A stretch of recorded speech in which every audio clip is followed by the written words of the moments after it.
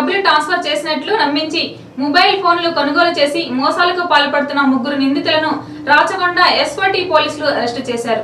ఈ సందర్భంగా మీడియా సమావేశంలో వారు మాట్లాడుతూ ఐదు లక్షల విలువైన మొబైల్ ఫోన్లు స్వాధీనం చేసుకున్నామని ఈ నిందితులు గతంలో కూడా ఓ మహిళను అత్యాచారం చేశారని టెక్నాలజీ ఉపయోగించి మోసాలకు పాల్పడుతున్న వీరిపై తెలంగాణ ఆంధ్రప్రదేశ్తో పాటు ఇతర ఐదు రాష్ట్రాల్లో వీరిపై కేసులున్నాయని తెలిపారు.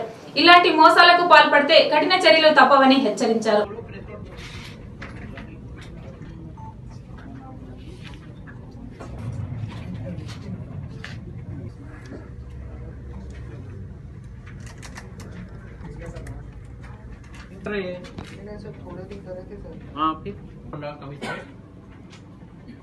వాళ్ళు ముగ్గురు ఆర్గనైజ్ క్రిమినల్ గ్యాంగ్ని అరెస్ట్ చేయడం జరిగింది.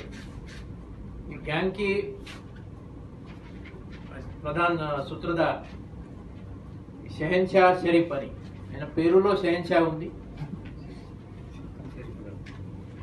ఆయన ఆయనతో పాటు ఇద్దరు నిందితులు మొహమ్మద్ ఇర్ఫాన్ తర్వాత మొహమ్మద్ మినాజ్.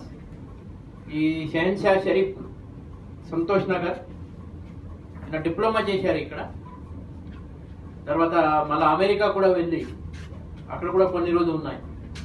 టెక్నికల్ మంచి నాలెడ్జ్ ఉంది. ఆన్లైన్ ట్రాన్సాక్షన్ దానికి సంబంధి ఈయనకి ఎక్స్పర్టైజ్ ఉంది. సో దానికి అడ్వాంటేజ్ తీసుకొని చాలామందిని మోసం చేస్తున్నారు.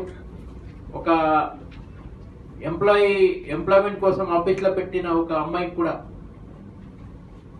మోసం చేసి తర్వాత మన రేప్ చేసి తర్వాత ఆ పిక్చర్స్ చూపెట్టు బ్లాక్మెయిల్ చేస్తూ థ్రెటన్ కూడా ఈయన చేయడం జరిగింది. నాచారం పోలీస్ స్టేషన్లో ముందుగా ఆ కేసు నమోదైంది.